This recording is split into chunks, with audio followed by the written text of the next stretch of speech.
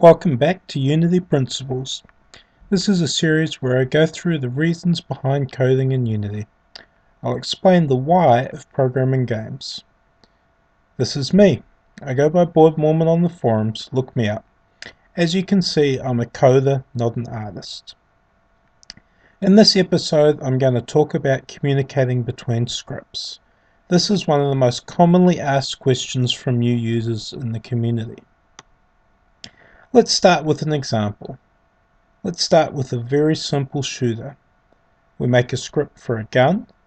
The gun has a bullet. The gun needs to communicate information to the bullet, maybe a starting velocity or a direction, maybe which player shot it. The bullet then hits a target. It needs to communicate to the life script on the target what's happening. How much damage did I do? Did I hit it? Now let's imagine the target is killed. The life script needs to communicate this to the death script. This plays a death animation. Maybe we want to update the score. So this death script has to communicate to the score script. Even in our very simple example, we've came across several instances where we'll need to communicate between scripts. In this episode, I'm going to talk about direct communication. This is not the only way to communicate between scripts.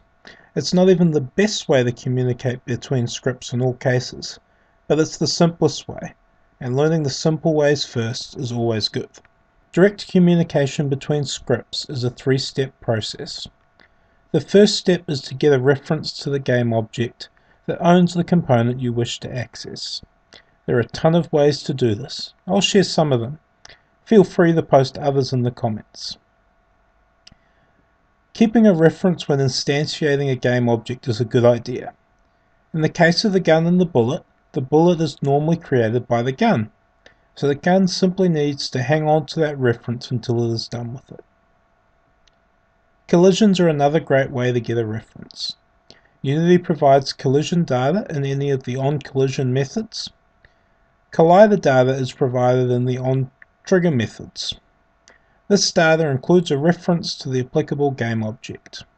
Our bullet would get a reference to our life script in this manner. If you know the component you want to use is on a particular parent or child of the game object, you can use the various transform methods to climb up or down the hierarchy. This is even easier if you know the script is on the same game object, like might be expected if you were to use requires component. And if you're really desperate, you can use one of the find methods. These get a little bit of a bad rap because they're relatively slow, but relatively slow is not that slow. If you cache the results, they'll work out fine. Once you have the game object reference, the rest is pretty simple. Call getComponent on the game object to get the script of interest. The result should be cached if you're going to use this a lot. Calling get component doesn't take a lot of time, but if you're going to call it thousands of times every update, it will kill your frame rate. Accessing the member of interest from here is as simple as using the dot operator. Thanks for watching. If you like this video, comment below.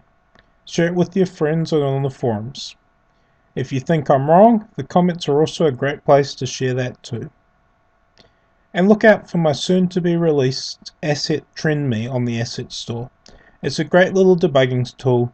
It's a great little debugging tool. You can attach the trender to any float on any component and track it in real time. You can also export to Excel as well. Thanks for watching.